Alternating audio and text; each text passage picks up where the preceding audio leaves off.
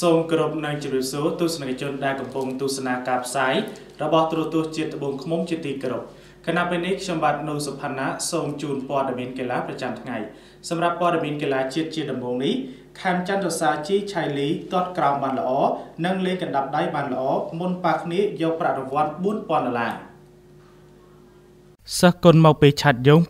911ខេមច័ន្ទសរសើរកីឡាករជីឆៃលីថាវាយបានល្អមិនថាកណ្ដាប់ដៃឬក៏ទាត់ក្រោមនោះទេមុនពួកគេត្រូវប៉ះគ្នាយកលេខ1លេខ2ដែលមានប្រាក់រង្វាន់រហូតដល់4000ដុល្លារនាថ្ងៃសៅរ៍សិស្សប្អូនឡៅស៊ីណាតរូបនេះបានឲ្យដឹងថាខ្លួនមិនដែលបានជួបប្រកួតជាមួយនឹងកីឡាករជីឆៃលីនាពេលកន្លងមកនោះទេបើតាមមើលការប្រកួតលីឆៃលីកន្លងមកខេមច័ន្ទឃើញថាប្រកួតបានល្អជាពិសេសស្នៀតកណ្ដាប់ដៃរួមទាំងការទាត់ធ្ងន់ខាងក្រោមងាកមកនិយាយពីការវឹកហាត់ត្រៀមវគ្គផ្ដាច់ព្រាត់នេះវិញអ្នកប្រដាល់មកពីឆាត់យងខាងលើចំណាយពេល2សប្តាហ៍ពេញហាត់ផ្ដោតទៅលើកម្លាំងនិងបច្ចេកទេសទន្ទឹមនឹងនេះសម្រាប់ការប្រកួតវគ្គផ្ដាច់ព្រាត់ប៉ុន្មានថ្ងៃខាងមុខនេះខេមចាំមិនហ៊ាននិយាយថាសង្ឃឹមឬក៏មានប្រៀបនោះទេចាំមើលពេលប្រកួតជាក់ស្ដែងរំលឹកផងដែរថាកីឡាករខេមច័ន្ទនឹងត្រូវទល់ជាមួយនឹងកូនសិស្សលោកគ្រូធុនសុភា គឺកីឡាករជីឆៃលីនាថ្ងៃសៅរ៍ទី6កក្កដា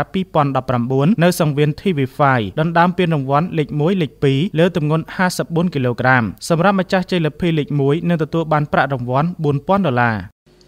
ដោយឡែកសម្រាប់ព្រឹត្តិការណ៍ព័ត៌មានកីឡាអន្តរជាតិវិញម្ដងមេស៊ីបន្តអត់ពៀនជាមួយនឹងក្រុមជម្រើសជាតិក្រោយប្រេស៊ីលទម្លាក់អាសង់ទីនយ៉ាងចុកចាប់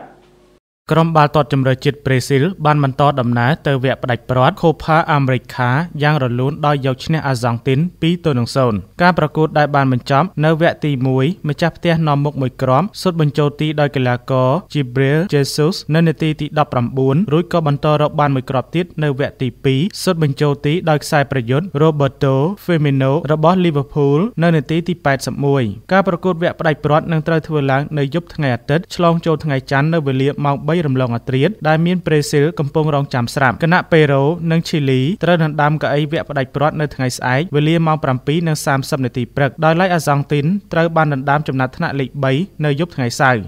បាទជាចុងក្រោយសូមថ្លែងអំណរគុណយ៉ាងជ្រាលជ្រៅសម្រាប់ទស្សនិកជននៅក្នុងការតាមដានរាល់ព័ត៌មានរបស់ទូរទស្សន៍ជាតិត្បូងឃ្មុំគណៈពេលនេះខ្ញុំបាទនូសុផាណាសូមអរគុណនិងសូមគោរពលា